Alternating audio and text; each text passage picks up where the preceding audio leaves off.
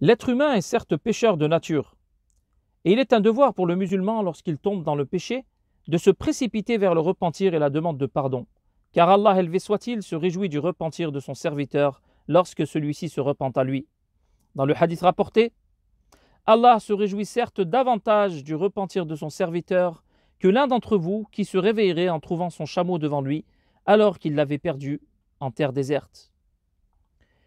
Et le musulman doit faire attention aux désobéissances de la solitude, car Allah a certes blâmé celui qui se cache des gens pour effectuer son péché, mais qui ne se cache pas d'Allah. Allah élevé soit-il a dit Ils font tout pour se cacher des hommes, mais ne font rien pour se cacher d'Allah.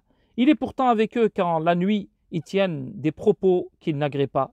Allah, par son savoir, cerne ce qu'ils font. Et le prophète, paix et bénédiction d'Allah sur lui, a certes mis en garde contre les péchés de la solitude en disant Je connais certes des gens de ma communauté qui viendront le jour de la résurrection avec des bonnes actions telles que les montagnes de Tiham, blanches. Allah les réduira alors à l'état de poussière.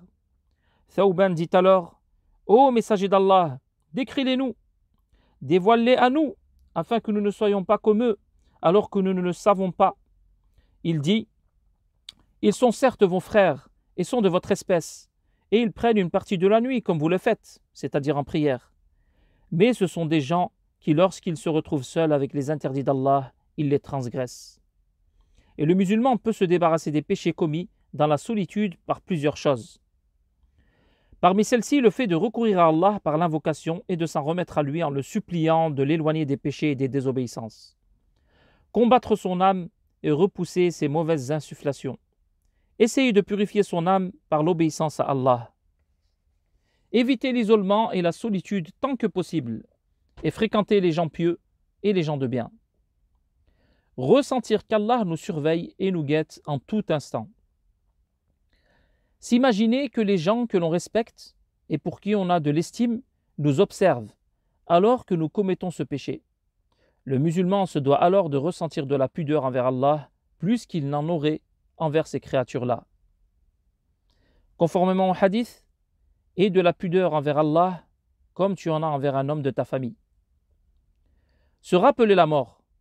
Si celle-ci lui parvenait alors qu'il est en train de commettre la désobéissance, plongé dans un péché, comment rencontrerait-il son Seigneur dans cet état? Se rappeler ce qu'Allah a préparé pour ses serviteurs pieux et ce dont il a mis en garde les désobéissants et les pécheurs. Et quelle belle parole que celui qui dit si, tu te trouves seul un jour, alors ne dis pas Je suis seul, mais dis plutôt Il y a un guetteur sur moi. Et ne crois pas qu'Allah est insouciant un instant, ni que ce caché lui échappe.